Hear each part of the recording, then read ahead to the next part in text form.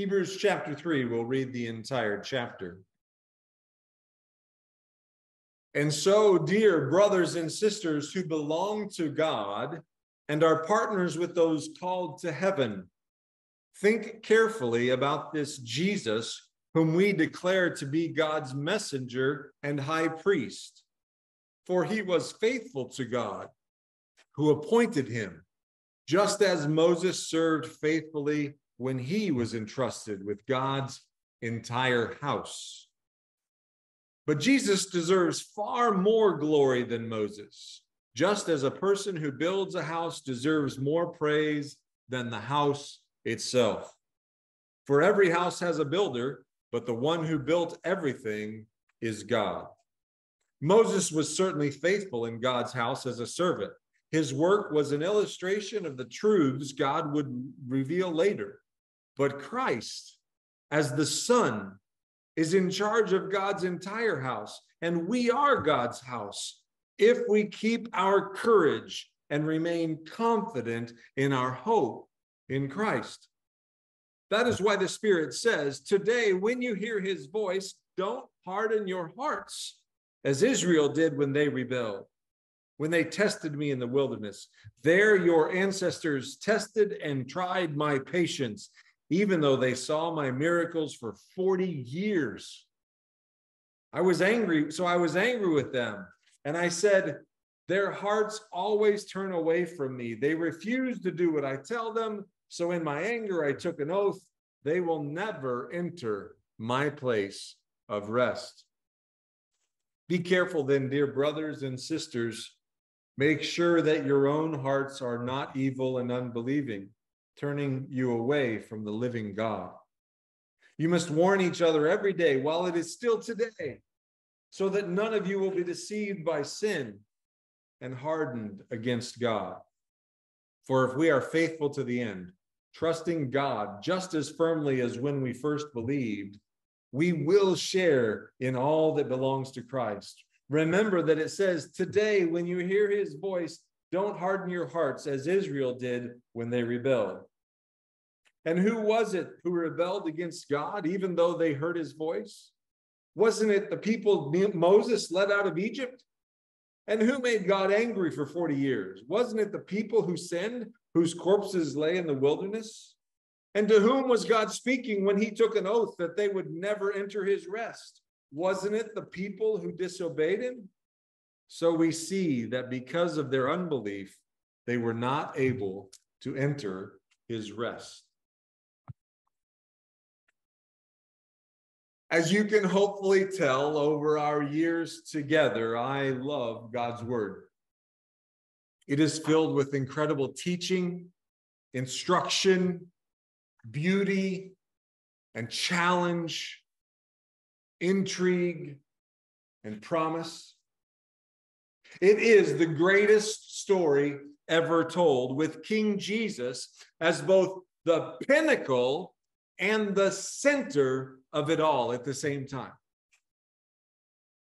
Even so, there are some passages in the scriptures that give me pause, that challenge me, that confuse me, and even some that rub me the wrong way. The Bible, depending on where you are reading, is brutally violent. It is deeply insightful. And it often flies in stark contrast to our modern Western thought processes and societal way of life, as you and I were discussing beforehand, Ron. Our scripture reading this morning is one of those passages. It is a call to the lordship of Jesus which is not normal in our society. It is a warning against unbelief.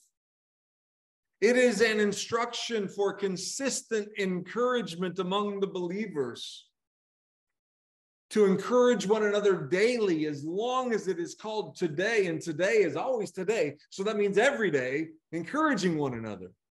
That's not normal. And it calls out sin for its deceitfulness and as that be as it being a source for separation from God. Sin is what separates us from a holy and pure God, and it calls it out. That's challenging stuff. And the question that I believe we are to wrestle with is what are we to do with this conundrum? I love the word of God and I hold it up as the word of truth, but I, I wrestle with it. I don't understand it all. I don't get it. I love it. I want to live by it, but it's hard. If we proclaim to love the Lord in his word, if we profess that Jesus is Lord and Savior, which means with, with the Lord, what the Lord says we do, what are we going to do with the more challenging and difficult passages found in Scripture? So, by way of example, I'd like to take a look at one of the more famous passages of Scripture in the New Testament. It is found late in the Gospel of Matthew. And it is one that challenges me on a number of levels. Seemed to be a good place to launch from today. The very end of the book of Matthew, after the death, burial, and even the resurrection of Jesus. So we are way into the story now. In chapter 28, the disciples are given a charge. And this charge is proverbially, proverbially touted as the Great Commission. It's the heading in most Bibles. That's not written into the scriptures, but that's what everybody tends to call it. The Great Commission. Just the, the label right there should tell you something. It's pretty important.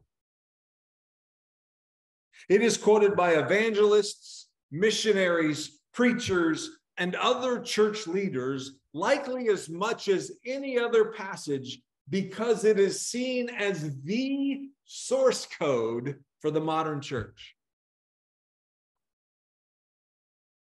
It's why the church exists. It's because of this passage that the church exists. To date, we have an incredible story all the entire Old Testament. Now we're getting into the New Testament. It's great, amazing context. But now we're getting a commission, a charge, a vision, a direction, something to do. A distinct instruction by Jesus himself. In Matthew 28, then the 11 disciples went to Galilee, to the mountain where Jesus had told them to go. When they saw him post resurrection, they worshiped him, but some doubted. Then Jesus came to them and said, All authority in heaven and on earth. What other authority is there? All authority has been given to me. Therefore, go and make disciples of all nations, baptizing them in the name of the Father and of the Son and of the Holy Spirit, and teaching them to obey everything I have commanded you. And surely I am with you always to the very end of the age.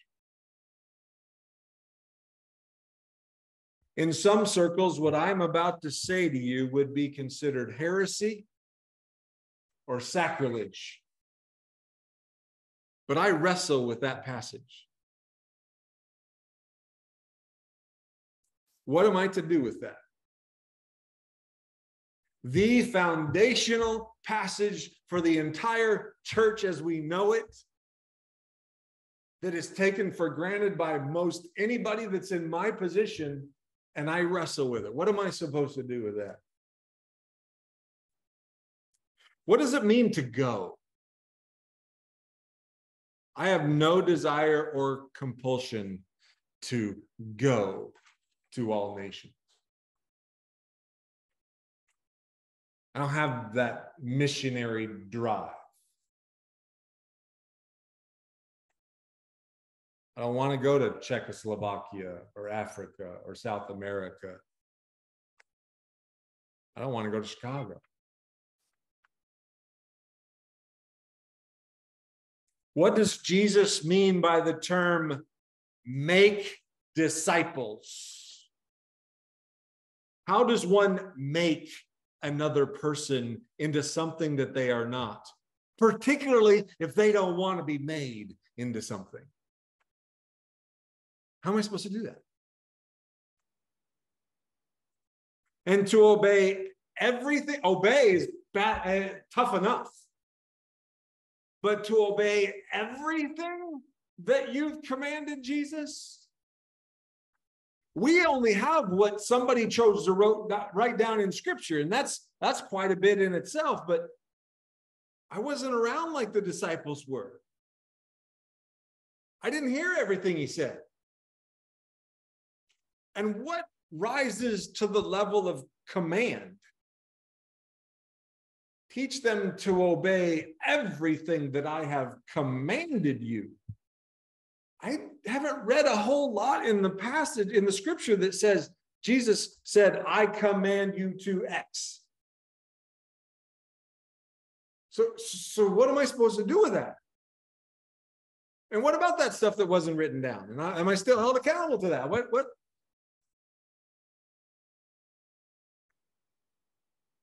Which brings me to another big challenge in this passage. The fact that I didn't hear it all, but the disciples did. Jesus was directly speaking in this passage to 11 disciples. It says right at the beginning, then the 11 disciples went to Galilee. Judas was gone by now. They hadn't picked his replacement. So Jesus was talking to those 11 guys And the rest of the New Testament is the story of how those 11 guys and the people they brought around them worked to fulfill that great commission. They went into all nations, they taught. Was he even talking to us? Was he talking to me? Was he talking to you? Was he calling every believer from that day forward to leave their homeland and to charge into the mission field? Is that what that passage is saying? Is everyone supposed to go to all nations and baptize them and teach them to do everything? Is that the charge there? The Great Commission? Like I said, there are people that do what I do that would consider what I just said in the last five to 10 minutes is sacrilege or heresy. And I'm not trying to spread doubt. I'm just being honest with you. I wrestle with this. Because most would say, most in my position would say, of course, yes, absolutely. How could you read that any other way? It's the Great Commission. Their confidence can be overwhelming at times and condescending at the same time. And still I ask, what am I to do with that? What are you to do with that? This week, I have a couple of suggestions on how to wrestle with the tough stuff in Scripture. And next week, I want to get into some practical application of how to live that out in the world. But today, I just want to get into our heart and our mind with how to wrestle with the tough stuff. The first suggestion I would have for us is that we don't dismiss it. It's real easy to read through God's word and to read something we agree with and say, Yes, I love it. And then we read something we don't agree with and say, Oh, that doesn't really talk. And just dismiss it, ignore it, act like it's not there. And I would encourage us to not do that. That's not the answer. The answer isn't to pick and choose our, our channel of lordship. At the same time, don't dilute it. Don't water it down. don't just say, oh, I'm gonna, I'm gonna look at this in a way that just allows it to be less impactful on my heart. I'm, I'm gonna, I'm gonna accept it, but I'm gonna, I'm gonna hold it real. I'm just gonna, that's not really what that means. So I'm gonna, I'm gonna, I'm gonna dilute it a little bit. And I would encourage us to not do that. Don't dismiss it and don't dilute it. Because we don't fully understand it yet. And the third one would be what where I think that we have to be careful with the, the example passage today is don't doctrinalize it. And what I mean by that is if we are not to a place of really deep understanding yet, be very careful about attempting to impose it onto other people as a doctrine. You may have a deep conviction. You may feel like you've got a good understanding. God may be working his spirit in and through you on something, but be careful of the difficult passages and turning them into some sort of dogmatic doctrine that now you think applies to everybody because it might not. I'm not saying it does. I'm not saying it doesn't. I'm just saying be careful of that. I've been a part of groups in my past I've been dialogue even to this day with certain people that have such firm convictions about X, Y, or Z. And I know people that love the Lord just as much, if not more, and have been following Him for longer that don't believe in X, Y, and Z. Be careful of doctrinalizing, particularly, by the way, that's not a word, making into doctrine. particularly the difficult stuff. Again, all the the pastoral uh, blessing of allow God's Spirit to convict you, allow for there to be confidence in your faith. Yes, just beware of turning it into doctrine that you think everybody has to believe just like you do because that can be a difficult place. So don't dismiss it, don't dilute it, don't doctrinalize it. But on the more positive side, I would encourage us to admit it, to be real about our doubt and confusion, to wrestle, to be willing to wrestle with it. because there's a lot of trust in that approach. I don't get it, I don't understand it. But God, I want to trust you. I believe in you. I believe in your word. There's a lot of humility that comes in admitting that we don't understand it all. The library of things we don't understand is much much, much bigger than the library of things we do understand in all of the world, in all of life. And the Bible is no different. So let's have some um, humility and be okay with admitting we don't know it all. And there are passages in scripture I don't have a clue about. Likely you can say the same. So just admit it. I wrestle with it. Secondly, I would encourage us to marinate in it. Now, this is grilling season. We know what marination is all about, right? Put all those spices and seasonings in the bag. You put the chicken in the bag. You put the steak in the bag. You put whatever in the bag. You let it marinate over time. Longer, the better in most cases, right? The same thing can happen in our wrestling with Scripture. Just marinate in it. Read it over and over and over again. Don't just read the verse, expand to the chapter, then maybe expand to the book. Read it in its context. I tell you, I've been for a while now, I've just been reading chronologically through the word. Now get through the New Testament, come back and start at the Old Testament. I'm in First Kings right now, and just read reading the God, reading God's word in its context is incredibly insightful.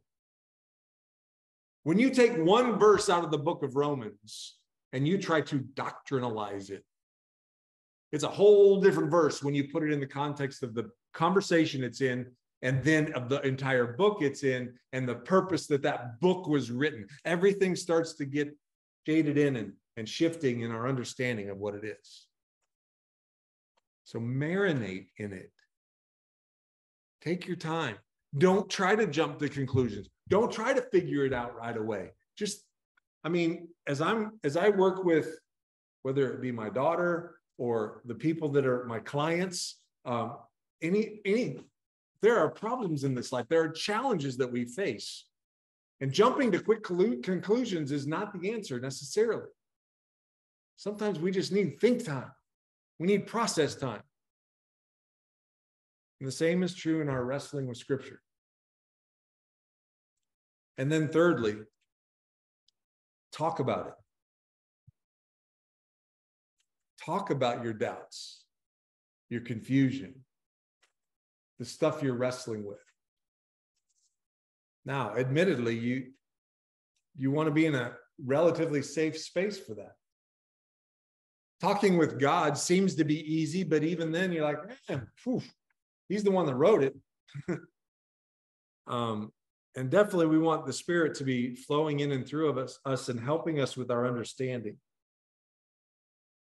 But there is incredible value in talking to someone else about it. It doesn't have to be an expert, it can just be getting another perspective. It can just be somebody asking you questions to cause you to think about things from a different perspective on a particular passage.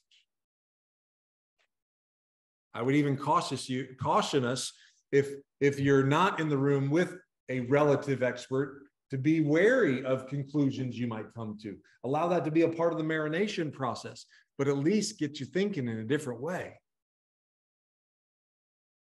Again, in my work with my clients, this is one of the most powerful methodologies for learning and for growth and for uh, breakthrough moments. He's just asking good questions. So talk about it. There is a quote often attributed to Mark Twain, and it goes like this It's not the parts of the Bible I don't understand that bother me, it's the parts that I do understand. So that's a that's a good place to start. Let's go to the ones that are pretty crystal clear. At least they seem to be. Now, before today, you might have thought that Matthew 28 was pretty crystal clear, but it's still not clear to me. But let's let's let's lean into the, the areas that are pretty clear, but then let's not be afraid of the parts we don't understand because and I say this for myself, I can only assume it for the rest of humanity because I believe it to be true ignorance abounds. And I don't mean that as an insult. That goes back to the fact that the body of work that we don't know is much, much larger than the body of work that we do know. And let's not be afraid of our ignorance, but let's also not wallow in it. God's word can be challenging. It can be hard enough, again, to deal with those passages that do make sense to us. But even those parts of God's word can be so rich and so deep and so challenging that we don't want to simply take them for granted. Oh, I know that one. No, spend time on that as well. We don't want to get stuck in the surface interpretation that we may have learned in Sunday school because it goes a lot deeper than that. There is so much more for us to learn, so much more that God may be trying to say to us. So, again, I love God's word. And as we lean into it more and more, which is my prayer for everyone within the sound of my voice, may we never shy away from its truth. Don't dismiss it, don't doc, uh, dilute it, don't doctrinalize it necessarily, unnecessarily, but rather let's admit to our ignorance Let's marinate in the things that we are trying to figure out, and let's talk about it with God and with one another. This is how we grow. To God be the glory. Let's pray together. Gracious God and Heavenly Father, what a blessing this life is. We are just, we're on a navigation of a journey, an adventure.